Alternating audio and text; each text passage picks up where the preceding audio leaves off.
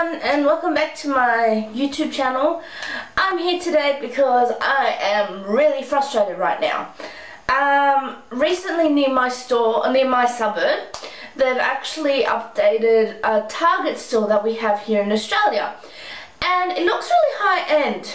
And when I first saw it happening, um, I was really worried that they might end up charging, something was going to go wrong. I actually mentioned to one of my friends, um, Nicole, um, that I'm worried that they're going to up the prices pretty soon because it looks really too high and It looks too, too, too, I don't know, that I just felt that they put too much time, too much effort. They even put a cafe in.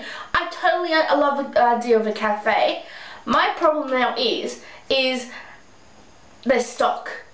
They have reduced their stock so it, everything looks awesome, everything looks fabulous, everything looks shiny and brand new and looks like high-end, it looks like a Myers, but they don't have as much room, they don't have the two um, story thingies or even the three story thingies for a Myers. They've only got one floor, which means the stock has been reduced. They have the beautiful counters full of makeup. Absolutely love it. They've cut back on their stock.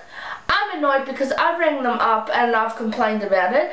The store has told me that it's not up to them, it's head office. Rang up head office and not only did they tell me there's nothing we can do about it, all we can do is um, send in an email to the store, which then makes me go, but it's not the store that decided to cut back on the products there. It was actually head office then why the hell are you head office sending the email back to the store when the store has already told me that it's head office? So here I am going in a loop right now, alright? That's the first thing.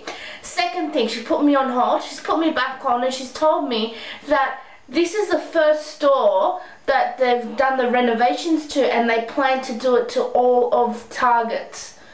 Which means the which means that if we don't start complaining now, about the fact that we do not have as much choices now in our beauty products, in our clothes, in our fashion, etc., then we're going to be having to look for everything again online. We already have problems in Australia in trying to find fashion and beauty. We don't have Urban Decay. There's a Sephora coming here soon to Sydney, but even then, we're still, you know, people in, uh, here in Victoria, people in Queensland, etc. will still have to be putting um, orders online instead of being able to see the physical thing, right? Um, mind you, that's what they told me. They said, oh, but we do have an online Target which you can grab your products from. Um, not all sizes 14, not all sizes 16, not all sizes 12 are all the same. They're all different. Some have shearing, some don't have shearing. So if I do not, if I cannot try it on myself, if I cannot physically, you know, grab like my Chi and swatch it or if I can't pick up my NYX, you know, grab it, open it up and swatch it on my hand, how do I know that it's gonna, you know, go for me? Because most of the time what you see on the screen isn't what you get in real life. So, um, I'm complaining because the thing that's worrying me is the fact that they told me that this is a trial to see if they're going to do it for the rest of Target. But they didn't tell anyone about that. So not only are they at the moment losing money at that store, at the moment, if I want to go, because I'm actually wanting to get some um, NYX um, lip uh, matte lip glosses, mind you, uh, butter lip glosses. Mind you, I've just been told um, over the phone by Target where I live where I li live nearby, they only have the butter lip glosses. They don't have the matte mattifying ones. They don't have. They've only got six shades of the butter lip glosses. Only six.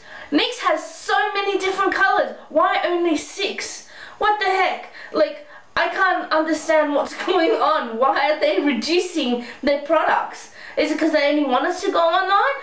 I have no idea. But it's already really hard for us Australians to go ahead and buy makeup products already that we have to go onto eBay, Amazon, etc. just to buy or go and get, you know, US shipping place, right? To now find out that Target, one of, you know, the places that sells a, a few different products that we can't get elsewhere, is now reducing their stock even more. Not only in their makeup product, but in their fashion. So I reckon we should start complaining and telling Target what we want.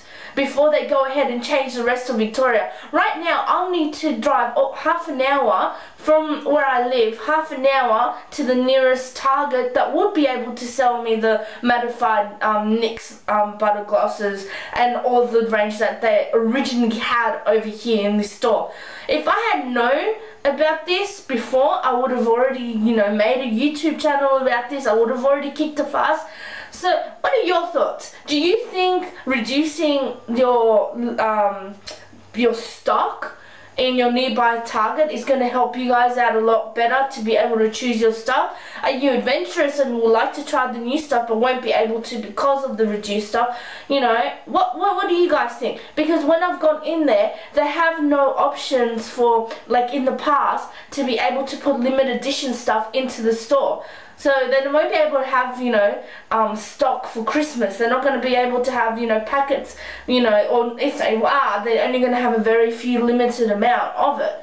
So what do you guys think about this? That we now are being forced to go online or to travel further away from home to get what we needed. I already had trouble trying to get Too Faced and all that stuff because Myer doesn't provide them over here at this side of the this the place. So I have to go all the way half an hour to my local um, Mecca store slash Myer, half an hour or so away from me. So why do I now have to travel as well for Target all the way over there just so I can get a cheaper brand cosmetic that they no longer provide over here. What are your thoughts about this guys? You know, um, I'm, I'm very passionate about this only because, you know, um, I, I myself like really weird colors. I like the dark purples and blacks and lipsticks and all that stuff, which is now not being provided at this Target.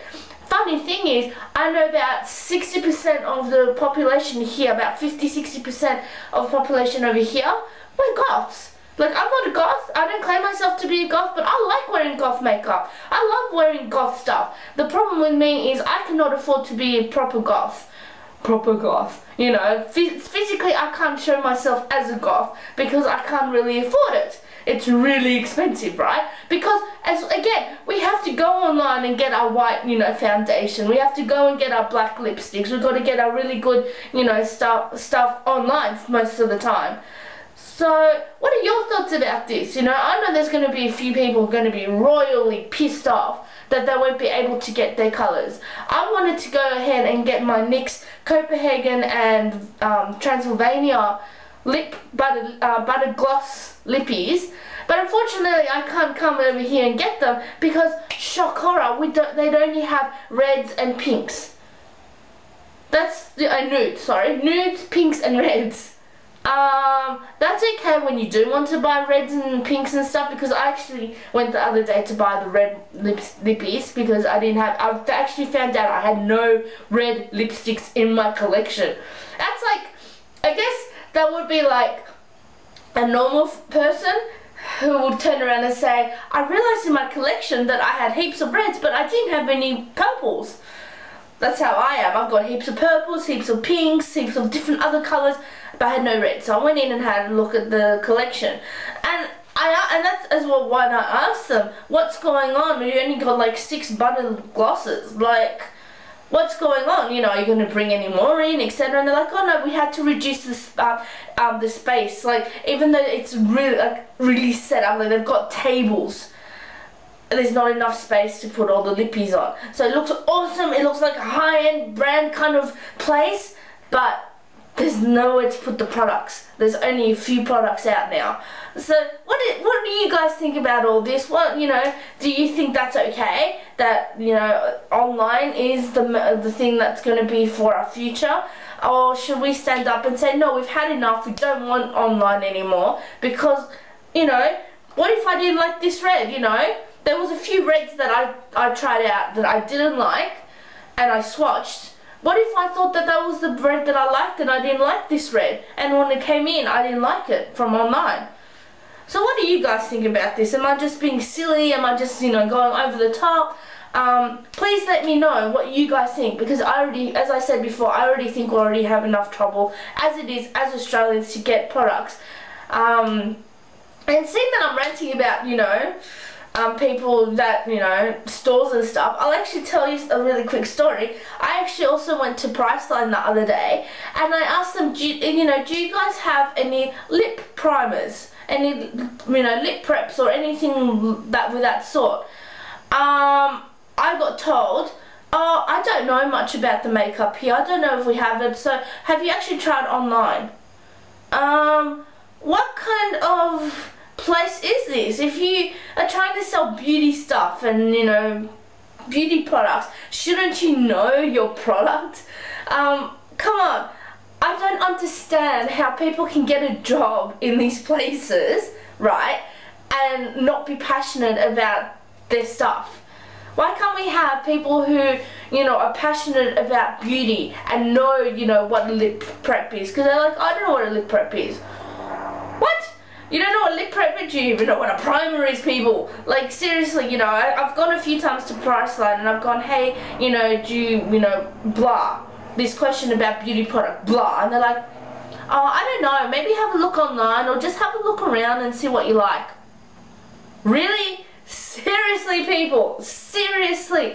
Where the heck do you find these people to work for you who are the beauty gurus of the store?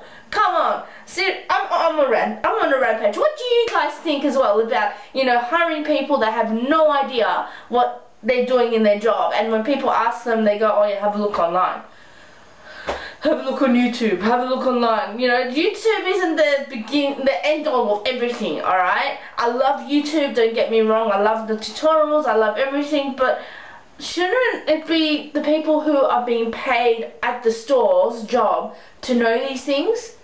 So what do you guys think? Do you think that, nah, it shouldn't bother, we should already know what we want and go in and get it and leave? Or should we be able to pull an assistant aside, ask them questions and then already know the answer to? Um, so, write your comments down the bottom. Tell me if you think I'm going crazy or not. This is the first time I've ever really had a rant about stores. Let me know what you guys think. Alright, thank you and have a good night. Bye.